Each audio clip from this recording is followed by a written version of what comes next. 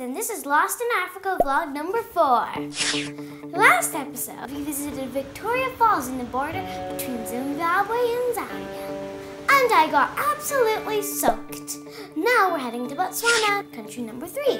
To get to Botswana, we are we we need to cross a river. So we're going on a ferry, and the ferry's gonna also take our car.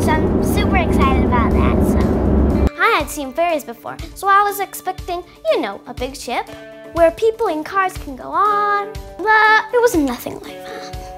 This is a ferry, can you believe that?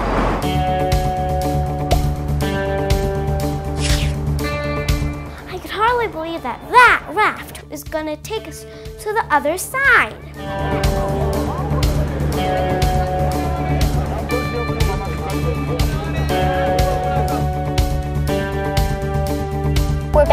We're back in the car. We made it to Botswana. Yay!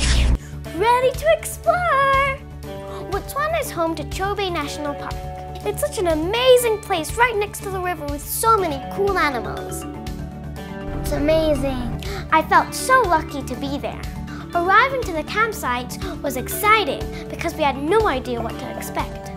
Right now, I'm just watching the beautiful sunset here while we unpack the car because it's gorgeous. And on this particular one, we were in for a real treat.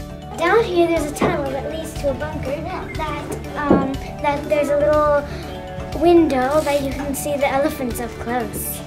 Let's go.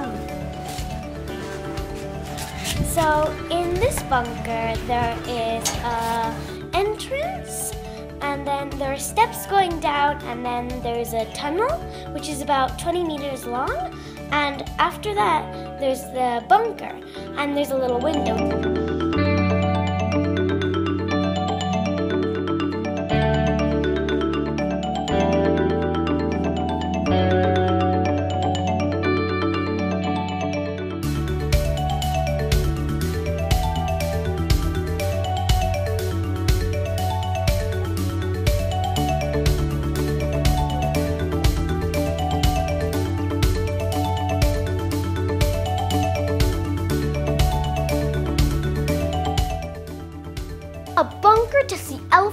Are you kidding me?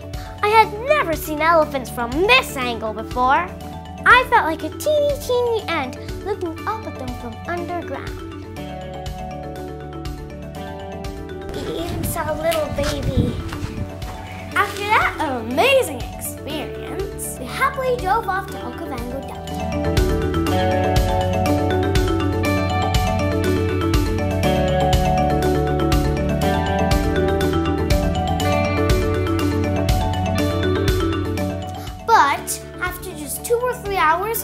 uh-oh.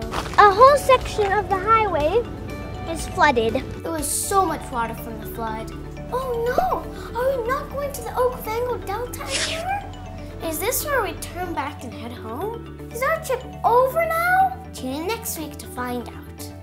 Thank you for sharing and subscribing. I'm adding links below to the campsites with quick thumbs up review on each one. Check it out.